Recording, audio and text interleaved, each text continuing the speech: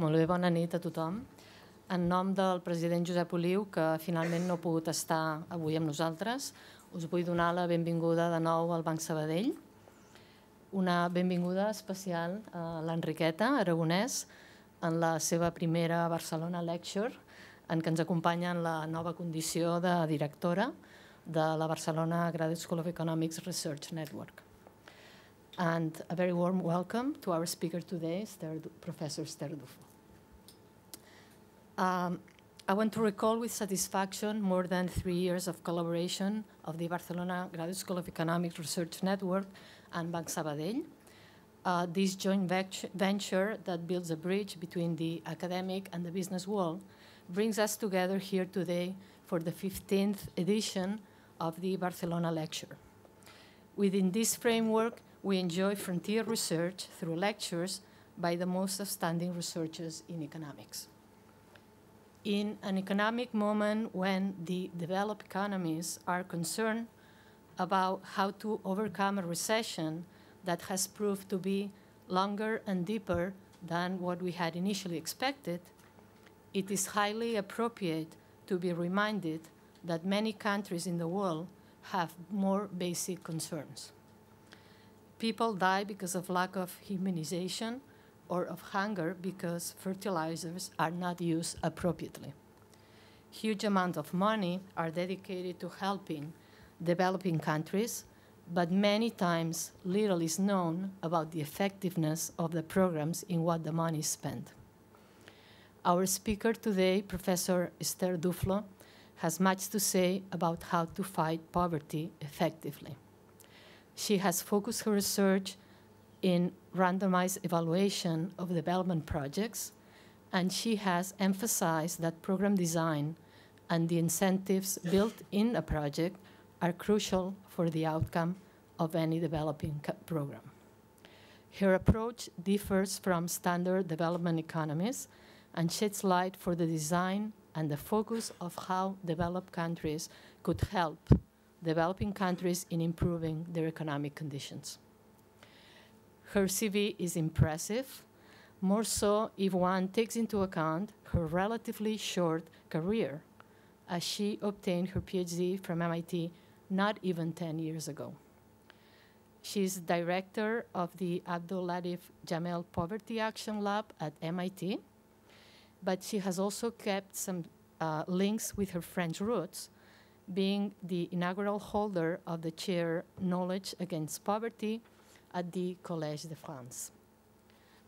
I will not go into more detail in Professor Duflo outstanding CV, as Enriqueta Aragonés will present a profile to our speaker following what is our tradition in the Barcelona Economic Lectures. So I just want to welcome Professor Duflo again, and thanks very much for being here.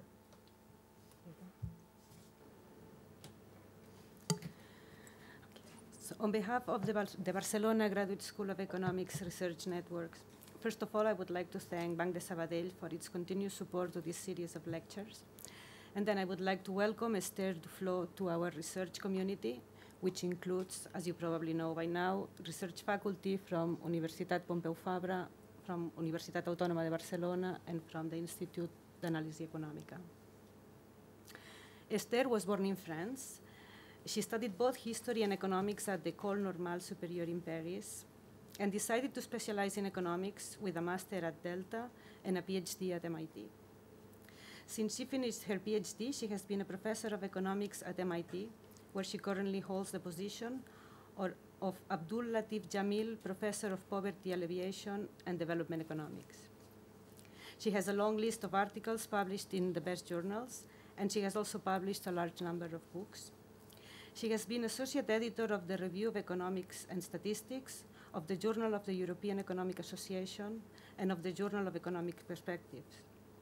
She has been co-editor of the Review of, Econ of, of, of, Economics and Statistics and of the Journal of Development Economics.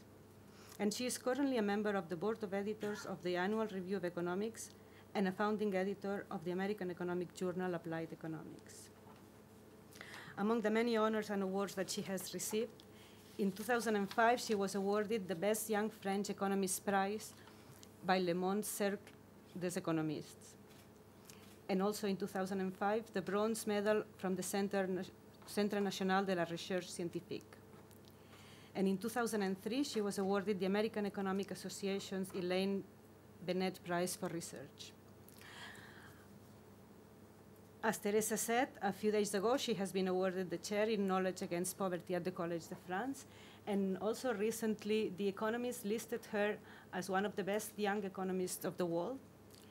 And uh, so The Economist listed a number of young, uh, eight young economists of the world, but she was the one that got the most votes.